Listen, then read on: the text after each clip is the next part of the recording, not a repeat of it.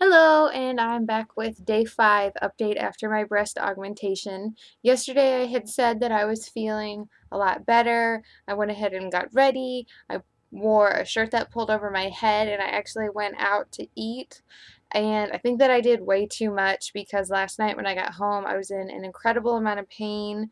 Um, it was really difficult to sleep. I'm feeling more sore today than I was yesterday, so I'm back in button-up shirts and trying to just take it really easy. I think I was trying too much, even with opening your own car doors. It sounds like that would be su such a simple task, but it hurts so bad, and I just think I tried to be too independent yesterday, and now I'm definitely paying for it today.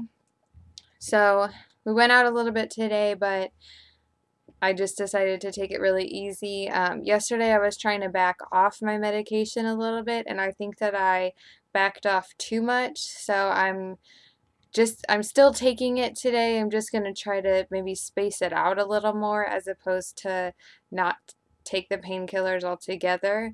Um, I know yesterday I had mentioned a little bit that I was a little unhappy with the size and I felt like maybe they weren't as big as I was hoping and I still am kind of feeling that way.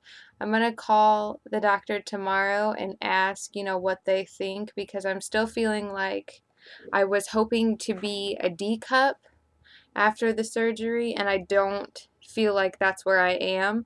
I maybe feel like I'm a C, but I don't feel like I'm really there to that full D. And the only reason that that concerns me is because right now, like the way that you are now, this is the most swollen it's going to be. So this is as big as it's going to get. Once they start to settle, they're going to look a little bit smaller. And I'm worried that, or I'm not really worried, I guess I'm just concerned that if they start to settle, then they're going to be smaller than I wanted originally. So I'm going to call the plastic surgeon's office tomorrow and speak with them and see, you know, what, if there is a solution or what kind of route we should go from there. So that's the only real update I have for day five. I'm hoping that I sleep a little bit better tonight. I'm still sleeping pretty much the whole night on my back. Um, before I was waking up several times throughout the night, like every time I needed to take a medicine, so pretty much every four hours I was waking up to take it. Last night, um, I had taken a pill right before I went to bed and I only woke up one time in the middle of the night to redose of my medication and last night was the best night of sleep that I had so far. It was still difficult and very painful to get to sleep, but I was actually able to get like the most restful sleep. I slept the deepest. Um, before, I was kind of sleeping on the pull-out mattress in my living room.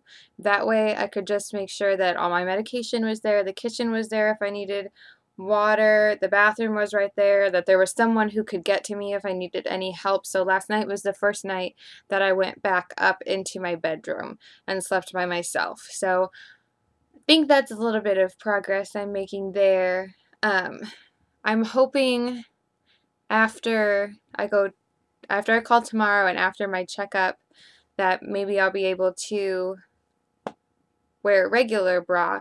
Oh, one thing was I showered yesterday. Yesterday was my first day that they approved me to take a shower, so I got to take off the gauze strips.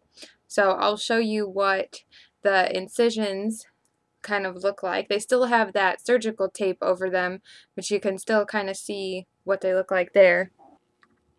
So that is what the incisions look like underneath. You can see they've got that little bit of surgical tape underneath each side. They're still very tender. And even just the act of just like unbuttoning and rebuttoning your shirt hurts your shoulders and hurts those muscles a lot. So that's all I have for you today with my day 5 update. If anyone has any questions, comments, concerns, feel free to leave me a comment below and I'd be happy to get back to you. Thanks for watching. Have a great rest of your day.